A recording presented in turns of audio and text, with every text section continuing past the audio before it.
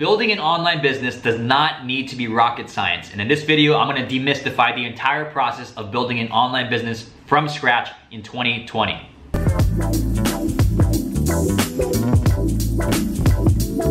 Hey, what's up? It's Sean Anthony, and if you are an entrepreneur looking to level up your business, your skills, and your income, make sure you go below right now, hit that subscribe button, and I'm posting videos just like this every Tuesday and Thursday. So in this video, I'm answering the question, Sean, how would you start a business from scratch if you had zero dollars, you had zero experience, zero skills, if an asteroid came down and just wiped out your business and, and wiped you out and you started all over again, right? So I get this question a lot. So in this video, I'm gonna teach you, or gonna, you're gonna learn exactly how I would build a business step by step from scratch if I were starting all over again from the beginning, okay? So let's just jump right into it. Step number one is to, I would start with a service, and I recommend you start with a service too, especially if you have zero dollars, you have zero skills, zero accomplishments, zero experience in anything, right? Now, why would I start with a service? Well, first of all, it costs zero dollars to get started, right? It costs zero dollars to deliver a service and get a result for somebody, right? It's, it's you don't have to do the work yourself either. You can find people to do the work for you. I'm gonna talk about how to do that later in this video. But it costs zero dollars to get started. You don't need experience. And all you're doing is you're delivering a service and getting a result for a client or a company, right? Now, the other thing is it's easier to sell, right? And I want to think, I want you to think about this scenario. If you were to go to a gym and you had a personal trainer who came up to you and said, I will lose 30 pounds for you. I will do the push-ups for you. I'll run five miles a day for you. I'll do the pull-ups for you. I'll lift weights for you and make you huge and ripped and muscular.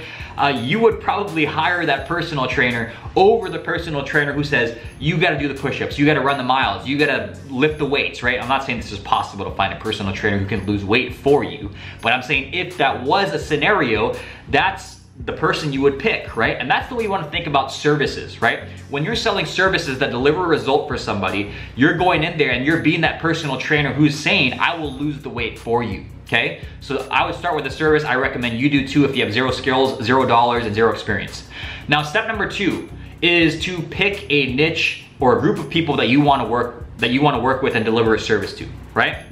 Now, it's so important that you do this. I see people who are brand new to entrepreneurship and online business, they go in and they say, I don't know my passion yet. I'm just gonna go and try to serve everybody and serve a really general, broad market and then narrow it down later. That's the wrong way to start because you're gonna find it very difficult to get any sort of tra traction when you're not speaking to anyone specifically, right? So you wanna pick a niche and it's ideally something that you're, you're either passionate about, you're interested in learning more about, or that you already have experience in working with, right? And this is just gonna make it so much easier on you if you, have if you have some kind of passion or interest or experience with the niche that you pick, right? So for me, I fell into the bucket of I was interested and passionate about a certain niche, right? I didn't really have experience with working in this niche and it was B2B SaaS companies, business to business SaaS companies, software as a service, right? And I was passionate about it because I use a ton of software to run my business, right? So I wanted to learn more about software companies. I wanted to work with other software companies and help them grow their business, right? So I thought I want to work, how do I get closer to software companies and learn more about them, right? It, it's to deliver a service to them and help get help them get a result, right? So that was a niche that I picked and you want to pick something that you're passionate, interested, or have experience in working with, okay? Number three is to create an ideal client profile. Now, what is an ideal client profile? I'm gonna refer to it as an ICP. An ICP just helps you get a more detailed view on who your actual ideal client is, right? So you picked a niche. In my case, it was B2B SaaS companies. Now I wanna ask myself, how big are these companies, right? So we wanted to target companies that were in the range of like 20 to 40 employees, right? Where are they located? So we were targeting mostly SaaS companies in the U in USA and Canada, right? And you want you might want to narrow it down by states. You might want to narrow that down by cities or or whatever, right? But you want to know more about where are these people located, where are these companies located, or your ideal client located, right? How much like in our case, how much revenue are they doing a year? So we want to target companies that weren't just getting started. We want to target companies that were already doing a few million dollars a year because that means they can invest in our service, right? You also want to know about the pain points and problems of your niche and of your clients, right? Your ideal client, right? So you want to think of it like this. You want to get clear on their point A, point A, which is their pain, their current pain, their painful situation that they want to escape from, right? And then you want to get clear on their point B, which is where do they want to get? What's their desired situation? What's like their dream scenario, right? So for us, B2B SaaS companies, what was their painful situation? Well, their painful situation was that they didn't have enough leads. They didn't have enough customers, not enough sales, not enough demos for, uh, for their software, right? What was their desired situation? Well, simple. They wanted more leads, more sales, more sales appointments, more demos, right? More conversations with their customers. So we then thought, okay, their point A is not enough leads, not enough customers. Their point B was they wanted more leads and more customers. So now you gotta think about the gap in between the point A and the point B. What are you gonna deliver? This is your service, right? This, the gap is what you're gonna deliver as your service to help them get from their point A to their point B, right? So you wanna ask yourself, okay, this is their point A, which is their pain, this is their point B, which is their pleasure. What am I gonna offer to close that gap and get them to their point B, which is their pleasure state, their desired situation, right? So you wanna start to think about that. In our case, there's tons of different things, right? SEO, there's Facebook advertising, there's Google pay per click, there's LinkedIn lead generation, right? Those are all things that could help them short or close the gap between their point A and their point B, right? So you wanna start to think about these things. You wanna get clear on your ideal client profile, create that, write these things out, get clear on who exactly you're targeting, right? Their job title and stuff as well. Uh, step four is to start researching other offers and competitors who are already successful, right? And this is another huge mistake that I see people make is they go in, they wanna try, they wanna reinvent the wheel, they wanna invent a brand new product or service that's never before been sold. And that is such a massive mistake unless you're like Elon Musk, right? Unless you have deep pockets and you're just an absolute freaking genius. Uh, you wanna go out, especially if you're new or you're brand new to entrepreneurship, you wanna go out and research things that are already selling. Okay, this is gonna make your life so much easier. You wanna go out, research offers and competitors who are already doing well and model after that, model after success. It's gonna make your life so much easier. They've already proven that people are gonna pay money for a certain service or like a certain niche is already buying things, right? You wanna look at competitors and offers that are already selling because you wanna model after that. You never wanna reinvent the wheel, especially if you're just getting started from scratch, right? So you wanna research some offers, some competitors. You wanna make sure that they're already selling, look at the price points that they're selling at, right? And make a list of all the things that you find, all the different offers and different niches and different things that people are buying within your niche, right? So for us, again, we, we made a list of things like LinkedIn lead generation, Facebook advertising, Google PPC. All these things could help our niche go from point A to point B. We ultimately landed on LinkedIn lead generation, right? But for you, it might be different. You're gonna have to do some research, go on, go on places like Facebook groups, on Quora, on Google, on forums, on YouTube. Look at what people are asking and saying about in your niche and what they're looking, like what their problems are and what they're looking to do to solve that, right? So that's step number four. So step number five is to start having real conversations with people in your niche, right? So once you've picked a niche, you pick, you create an ideal client profile, you pick the service that you want to deliver to help them get from point A to point B, you need to start going out to your market and having real conversations with people who fit your ICP, your ideal client profile, okay? So how do you do this? Well, you can use platforms for free like email, social media like Facebook, LinkedIn, Instagram, and you can reach out to people in your niche that fit your ideal client profile, start having conversations with them and getting on the phone with quick 15 minute to 15 minute to 20 minute phone calls and learning more about your market and your niche, right? So a simple message that we used to use when we first got started was just, hey so-and-so, I saw you were a SaaS founder and I want to reach out. I help SaaS founders with LinkedIn lead generation and generating more leads and appointments for their SaaS company on LinkedIn. Are you currently leveraging LinkedIn to generate more leads? If not, I'd love to have a quick 15 minute phone call with you to, sh to share some ideas on how we might be able to help you do that, right? So something very simple, and what does this do? It talks about their current A situation, their pain, they don't have enough leads. It talks about their desired situation, their point B, they want more leads. And then it talks about a way to close that gap and get them there, right? Which is LinkedIn lead generation, which helps them to get more leads and demos and appointments, right? So it's something as simple as that is getting on the radar of your prospects, reaching out to them, having conversations on the phone with your market, your niche, your ideal client profile, okay? So that's the goal of these is not to sell, right? You do not want to pitch in these messages and say, hey, buy my stuff right here. Buy my $1,000 product here or service here, right? You want to get on the phone with them, learn more about their business, listen to what they have to say, like listen to their problems, their pain points, ask them questions about their situation and their business. Hey, what are you currently doing to generate leads? What's working? What's not working? What would you like to see more of, right? Just learn about them, have a conversation with them, learn more about their problems, their pain points, and then also what they'd like to do to help them get to whatever their desired situation is, right? So you're having these conversations with your market.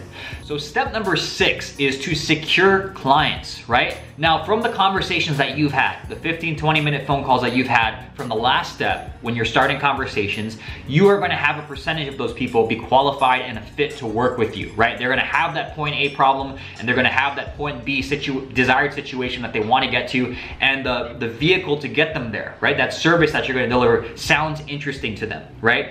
You're gonna offer them an opportunity to work with you. Now, first you can show them a quick demo of how your system helps them exactly to get from point A to point B. And then you're also, if you're just getting started, you're also gonna need some social proof, some testimonials in the beginning, right? So you can offer them a limited time discount, you know, 25% off, 50% off. You can offer them incentive pricing for them to get started with you because you're just getting started with the business, right? So you can say, hey, we have a beta, this is a beta launch right now, this is a beta offering or beta service that we're rolling out uh, we're give, we're offering 25% off for the first 10 people to jump on board, right? So the people that are a fit for your service and they do have that point A problem, they do want to get to the desired situation and the service you have does sound interesting, you're going to extend them an invitation. So all you got to do is ask them, hey, does this sound interesting to you? You're going to show them a quick demo or a way that your system works. And at the end of that, just ask them if they want to get started with you. Hey, where should we go from here? Where do you want to go from here? Does this sound interesting to you? Do you want to get started with this? Do you want to start getting a result, start, start generating more leads with LinkedIn? And that it's as simple as that. They're going to say either yes or no. And if they say yes, you collect a payment for the service and you start doing the service for them. So this brings me to step number seven, which is to outsource delivery. Now, what do I mean by this? Well, in the beginning, I talked about if you have zero skills, zero dollars, zero accomplishments, zero background, you're not gonna really know how to deliver the service and get the best result, right? So what I recommend you do is if you have like zero skills and experience, outsource the actual service delivery to get the result to highly skilled and cheap freelancers or white label providers who can actually, who already have a system that works, right? So let's just go back to my example of a B2B SaaS company. Let's just say I sold a SaaS company at $1,500 a month for our LinkedIn lead generation service. Now I would go and outsource that work for step number seven to a different white label provider who acts on behalf of my company. Like the client doesn't know that they're actually doing the work. I would outsource all the work for around $300 a month.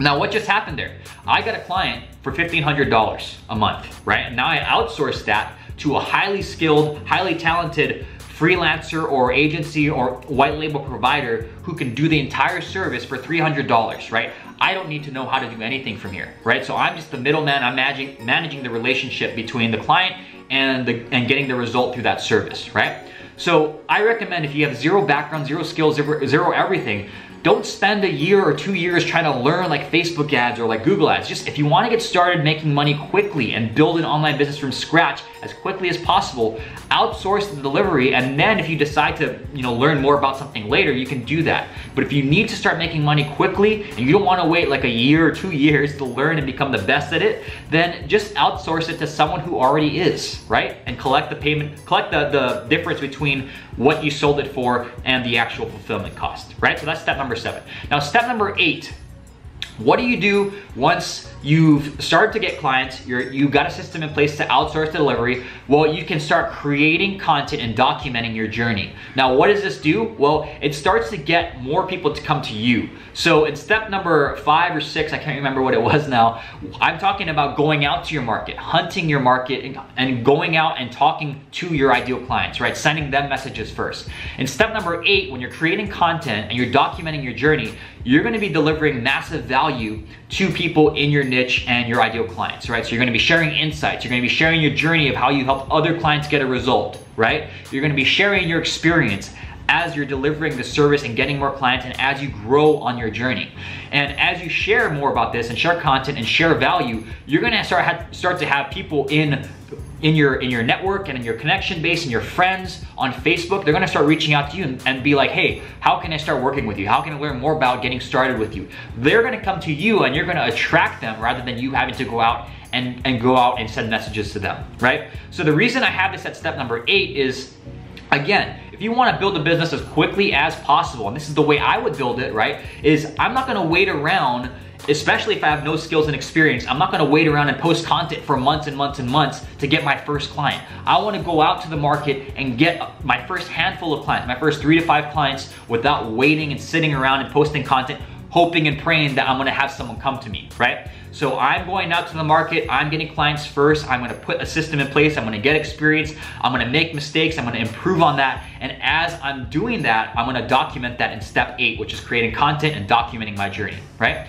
Now step number nine, right? How do you scale? How do you scale up? All you gotta do is rinse and repeat. Get more clients, go out to the market, right? Start posting more content, document your journey. As you get more clients, you're gonna continue to grow your income, grow your experience, grow your skills, and you're gonna have more testimonials and case studies to share with people in your market, right? And as you start to do this over time, everything compounds, right? So first, when you, when you first get started, you might not have case studies, you might not have social proof, you might not have testimonials. But as you get three clients, four clients, five clients, and you're getting a result for them, you're getting amazing results because you're leveraging an outsourced white label provider who's highly skilled in getting that result, you're gonna start to get case studies, testimonials, social proof. Your name's gonna get bigger because you're gonna be getting great results for your clients. And as you're documenting your journey and you're creating content, you're gonna have people coming to you and your income's gonna continue to grow and compound over and over and over and over time, right? So that is the entire process that I would take if I was starting an online business or building an online business from scratch in 2020, I would follow those exact nine steps. Again, step number one is to start with the service. It's easy to start, zero dollars, zero experience needed, zero skills needed, right? All you need to do is go into step number two, which is to pick a niche. Pick a group of people that you wanna work with and help. And it should be something that you're either passionate in, interested in learning more about, or have experience in working with, right? Step number three is to create an ideal client profile. Who is your ideal client, right? So you pick the niche, get more detailed on that how big are the companies? Who's the decision maker that you're reaching out to? Where are they located? How much money are they currently making a year? What is their point A and what is their point B? And what is what are some things that you can do to help them bridge that gap and get from point A to point B? Step number four is to research offers and competitors that are already converting well, right? You, you don't want to reinvent the wheel. You want to sell what's already being sold. Step number five is to start having conversations with your market. So start going out on email, social media, and start contacting your market, your niche, your ideal clients, and ask them if they have a problem that you can help to solve with the service that you picked to, to help them solve that, right? So you're going out to your market, you're having real conversations, you're listening to them on the phone, listening, learning more about their business and their industry. And step number six is you're gonna have a portion of people that are ready to move forward with you. They wanna get from point A to point B and they are interested in learning more about the service that you have to help them get there. So you're gonna secure clients by inviting them and extending an opportunity to work with you and offering, if you have zero social proof or testimonials, you can offer them some kind of beta pricing or incentive pricing to get started with you because it's like a newer program or service that you're rolling out, okay? That's number six. Number seven is to outsource the service delivery. So you can find highly skilled white label providers or freelancers or agencies to do all the work for you without you having to know anything about the actual service, right? So instead of spending years learning how to do it like a professional, outsource it to someone who's already done that for you and just collect the difference between what you sold it for and the investment on the actual service delivery and outsourcing that, okay? Step number eight is document your journey and create content, right? So as you get more clients, as you start getting results for them, document that and post that on your social media platforms, send it to your email list, right? Document everything you're doing and create content that's valuable to your ideal clients in your niche. And step number nine is you can scale up by just rinsing and repeating and getting more clients, right? So once you have systems in place for having conversations, you have a message that works, you have a niche, you have an ideal client, you're starting to convert and get clients, all you gotta do is get more clients, rinse and repeat, and you can outsource all the work to white label providers, right? So that's exactly how I would start a business from scratch, an online business from scratch in 2020 and beyond. I think this is the best way to get started. And from there, as you start to get experience in the services side of thing and delivering a service, I know a lot of people want to get into the information business where they're selling digital courses and, and coaching programs.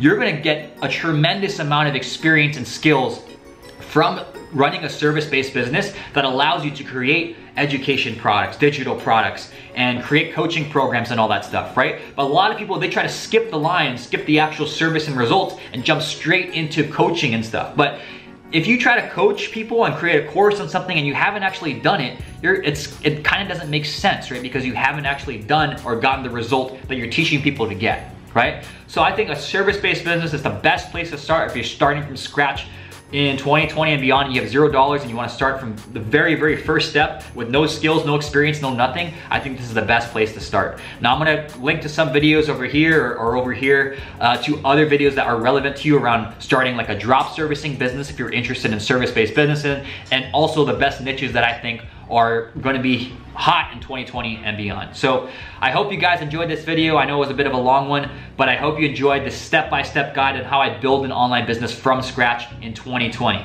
All right, so I'll see you in the next video and take care.